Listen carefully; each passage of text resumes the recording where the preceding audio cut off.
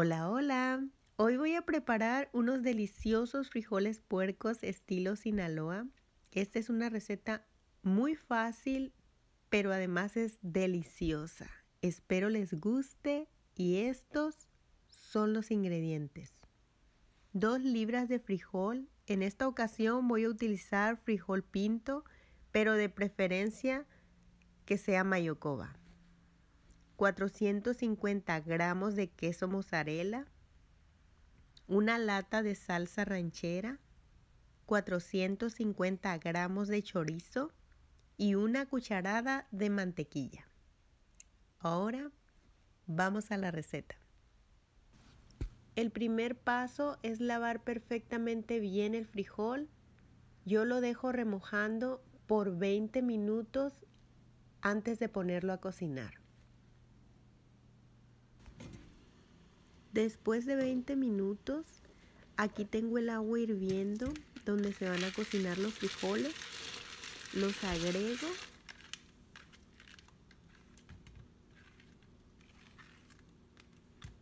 Los voy a tapar y los voy a dejar cocinando por media hora a fuego medio. Después de estarse cocinando por media hora a fuego medio, les agrego la sal y cuido la cantidad porque el resto de los ingredientes tienen sal. Quiero evitar que me queden salados. Los revuelvo, los voy a dejar tapados igual a fuego medio hasta que estén blanditos. Voy a cocinar el chorizo la sartén ya tiene temperatura y no es necesario agregar aceite porque el chorizo tiene su propia grasa. Los frijoles puercos son deliciosos y es mejor prepararlos de manera saludable. No es necesario agregar tanta grasa, en mi humilde opinión. Aquí voy a seguir revolviéndolo hasta que esté bien doradito pero no quemado, nada más un poco dorado, que esté bien, bien cocinado. Después de estar cocinando el chorizo por unos minutos, ya está bien cocinado. En este punto le voy a agregar la salsa ranchera.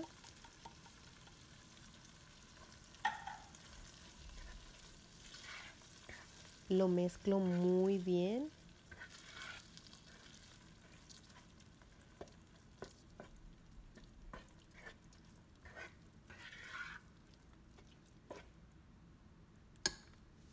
y le voy a agregar los frijoles.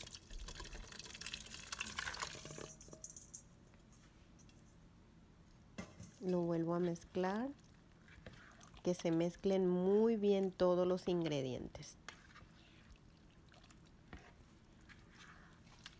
Y lo voy a dejar que dé un hervor para luego proceder a licuarlos.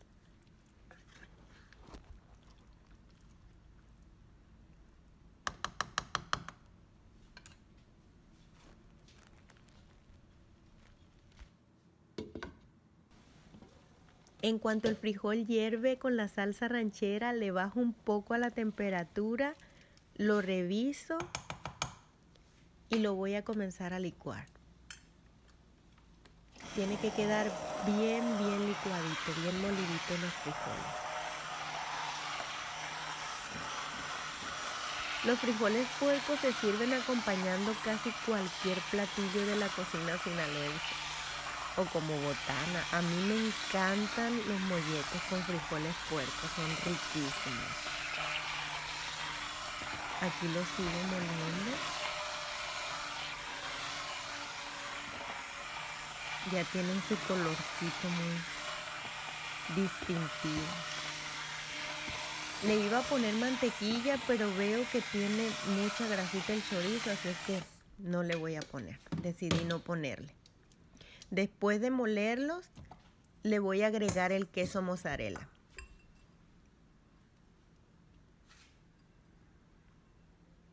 Y voy a esperar a que se derrita bien todo el queso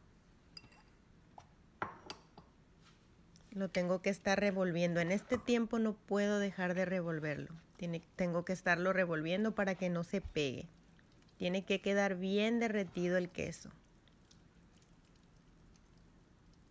Así lo voy a seguir mezclando hasta que dé un hervor y el queso esté completamente derretido.